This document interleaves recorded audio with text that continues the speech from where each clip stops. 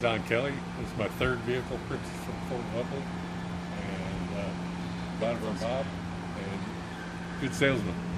So, yeah, it's, it's, I've gone back a few years with you guys, so we're doing good. Hopefully, we'll, I'll be upgrading from a little tiny Ranger to the full F one fifty. Thank you. Yeah. Yeah! All right. So I got you a